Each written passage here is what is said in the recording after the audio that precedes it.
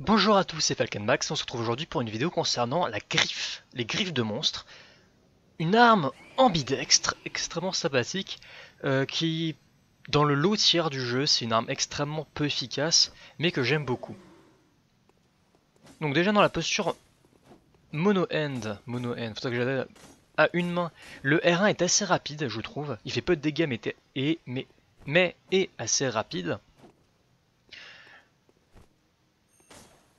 Donc le R2 très sympathique, coup horizontal ou coup en diagonale selon euh, si c'est chargé, ou pas. L'attaque sautée plante la, dague, euh, plante la griffe au sol, donc il y a très peu de portée. Un petit coup d'estoc avec la roulade.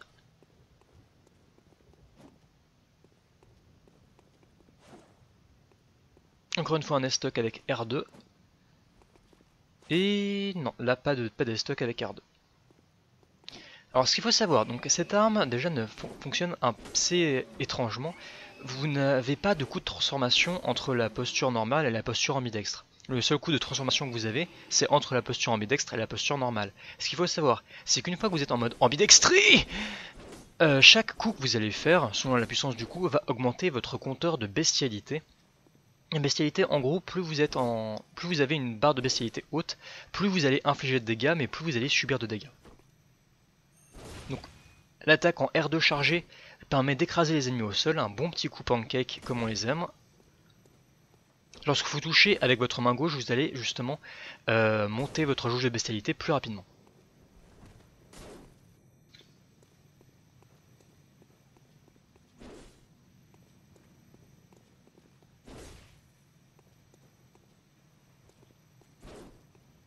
Donc coup en main gauche très sympathique avec le backstep R1. Et backstep R2, on attaque avec les deux griffes en même temps. Donc le moveset en L2 est très sympathique puisque vous touchez avec vos deux armes en même temps. Et vous faites une sorte de grand slam au troisième coup. C'est plutôt puissant, c'est assez lent, mais par contre si vous arrivez à toucher avec, euh, vous aurez suffisamment de stun pour euh, pouvoir enchaîner.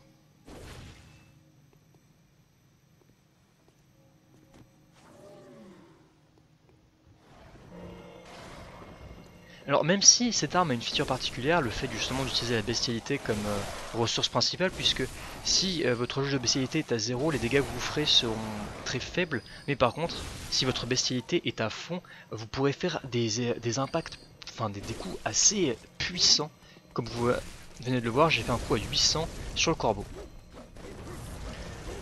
Donc euh, même si vous avez une mécanique spéciale, vu que, vu que l'arme inflige uniquement des dégâts physiques, vous pouvez quand même buffer l'arme avec euh, une carapace ou un papier.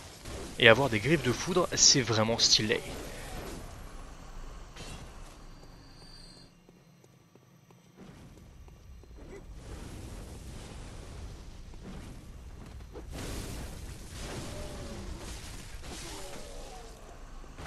Donc n'oubliez pas, si euh, jamais vous êtes en mode une main et que vous voulez faire un...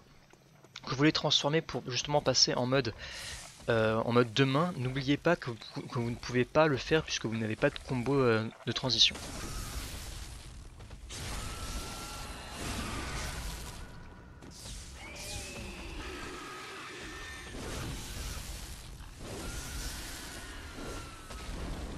Et donc, c'est comme la mécanique du ralliement ou du regain, comme vous voulez.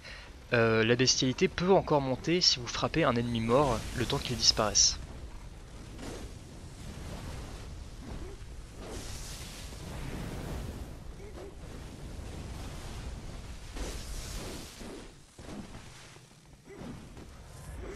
Donc n'essayez pas de bourriner, c'est pas une arme facile à manier.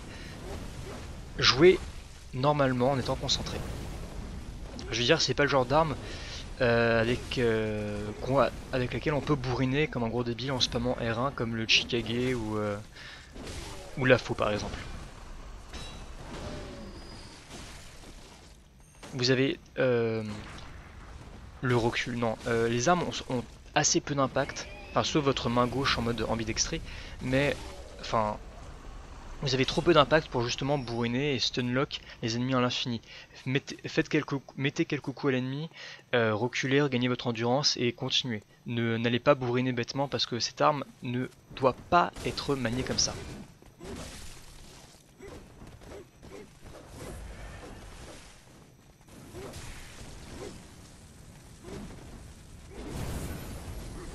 Là, vous voyez déjà petit combat bien plus difficile vu que je n'ai pas d'attaque à longue portée du coup. Avisez, faites des petites euh, des petits pokes. Et n'engagez pas en mode gros bourrin, en mode Stallone, puisque ce genre d'arme ne peut pas le faire, tout simplement.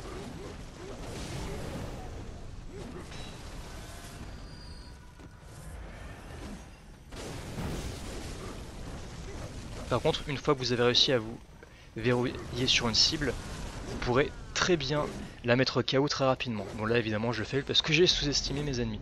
Donc du coup si euh, vous voulez plus d'informations n'hésitez pas à regarder la description juste en dessous. N'hésitez pas à mettre un commentaire, un pouce bleu, tout ce que vous voulez. Et donc euh, moi je vous dis à bientôt pour la prochaine vidéo. Ciao